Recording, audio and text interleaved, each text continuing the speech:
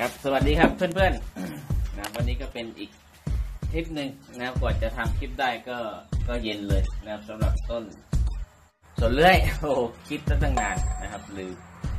นะครับต้นสนเลื้อยนะครับ ก็ช่วงข้างบนเนี่ยนะครับผมปอกเปลือกออกนะเดี๋ยวจะทาซากนะครับ แต่ว่าเนื่องจากว่าปอกเปลือกแล้วเนี่ยมันเป็นขนนะครับมันพอมันเป็นขนปุ๊บเนี่ยเราก็ต้องใช้นะครับไฟไฟไฟพ่นนะเพื่อให้เนื้อมันเนียนแล้วเราก็ใช้ ยาทาซาปุ๊บนี่นะก็จะทำให้เป็นเป็นชั้นๆ อย่างที่ว่าครับสลับซ้ายสลับขวาสลับซ้ายสลับขวา จะเห็นภาพนะครับ เวลามันเป็นขนเนี่ยนะครับ เราก็ต้องใช้แก๊สเป่าเรียบร้อย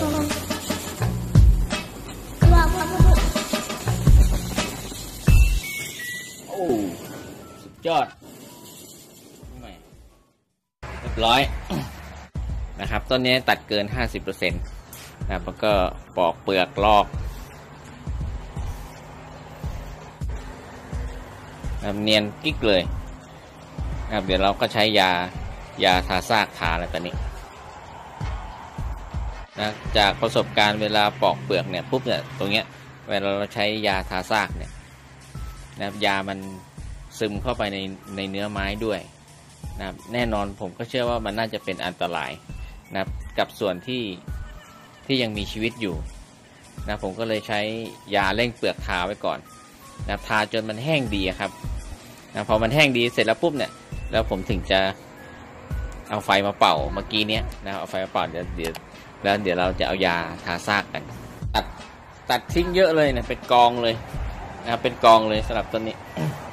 นะเดี๋ยวค่อยเดี๋ยวหลังจากทาซากเสร็จนะเดี๋ยวจะทาซากเสร็จเนี่ย เดี๋ยวค่อยทำคลิปให้ดูมันจะขาวนวลเลยนะไปดูต้นเมื่อสัปดาห์ที่แล้วนะครับที่ผมใช้ยาทาซากเทียนทองที่ใช้ยาทาซากทาเมื่อสัปดาห์ที่แล้วนะครับตอนนี้มันก็โดนแดดเผาโดนน้ำบ้างอะไรบ้างนะครับ ตอนนี้มันก็เลยขาวขวังนวลเลยนะครับสวยเป็นยองใยเลยนะเดี๋ยวมาดูใกล้ๆนะครับต้นนี้ถึงแม้ว่าเราจะไม่ได้แกะซากนะครับมากเท่าไหร่ นะครับมันแตกลายงาโอ้โหดูสวยมากเลย เดี๋ยวไปดูกันใกล้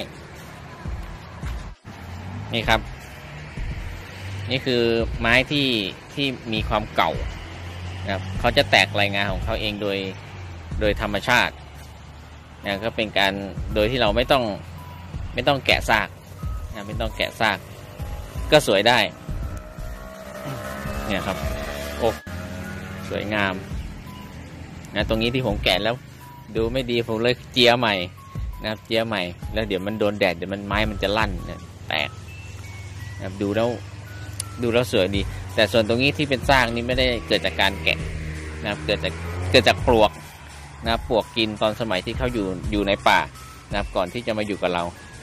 นะครับปลวกปลวกกินปุเข้าไปข้างในใสดีโอเคนะครับคลิปนี้ก็ให้เพื่อนๆดูนะครับเรื่อง ของการทำซากเรื่องของป้องกันยาทาซากที่จะนะครับเข้าซึมเข้าไปในผิวไม้อาจที่จะทำให้ต้นไม้ตายได้นะครับ ก็บอกข่าวให้กับเพื่อนๆนะเผื่อเพื่อนๆเอาไปทำตามนะครับ ก็ทายาป้องกันไว้สัหน่อยนะครับรอให้แห้งนะครับรอให้ยาแห้งดีแล้วค่อยเอายาทาซากทานะมันจะขาวสวยเลยอะแล้วก็ฟอร์มตรงนี้เดี๋ยวก็ มันก็จะเป็นแบบนี้ครับเพราะว่าผมจะดัดไม้เนี่ยผมไม่ได้ดัดให้มันเป็นเป็นก้อนก้อนก้อนก้อนก้อนไงผมจะดัดให้มันโชว์กิ่งด้วย มันก็จะเป็นสไตล์เนี้ยนะครับ การการดัดไม้ผมจะเป็นสไตล์นี้ซะมากกว่านะไม่ค่อยจะทำเป็นก้อนก้อนโอเค เดี๋ยวเดี๋ยวเจอกันคลิปใหม่กันแล้วกันนะสำหรับคลิปนี้สวัสดีครับ